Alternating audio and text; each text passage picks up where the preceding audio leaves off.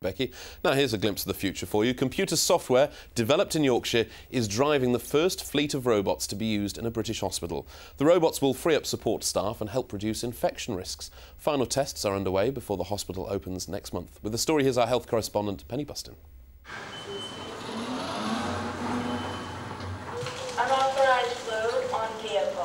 The robots are being put through their paces as part of last minute checks before the imminent opening of a £300 million hospital in Scotland. Their performance, meanwhile, is being monitored 200 miles away in Wakefield. The software developed here keeps a big brother eye on them. We're hooked into the robots. We know what they should be doing, when they should be doing it, and our red, amber, green charts will automatically flagging up if things have gone wrong. The same system will be used on handheld devices at the hospital to automatically dispatch porters and take food orders at the bedside.